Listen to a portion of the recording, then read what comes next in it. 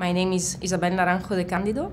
I'm a third year PhD student in the Nuclear Science and Engineering Department here at MIT, and I'm working uh, in the Nuclear Innovation Fission Technology Group. We are used to think about nuclear power plants as uh, huge power plants with a huge volume, but actually the industry is developing this new concept of microreactors and small modular reactors.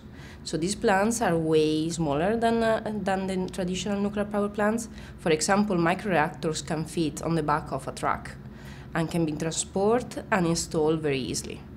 Small modular reactor on the other side, they are smaller than traditional nuclear power plants and they can be installed in series, making them uh, more uh, easy to build. So what my group is trying to do is um, developing a software that estimate the cost of the nuclear power plant from the very beginning, so from the, from the construction through the its lifetime, so the operation phase, and uh, then the commission and the, finally the decommissioning. My role is developing the operation maintenance part of the software, so the software that uh, essentially capture the lifetime of the of the plant, so it's operating uh, years, and estimates the cost and the number of people that are needed to operate it. So we want to prove how operation and maintenance can be managed efficiently with a large fleet of uh, uh, power plants and uh, reactors in uh, different places. I feel this uh, software will be important because it will create a common ground for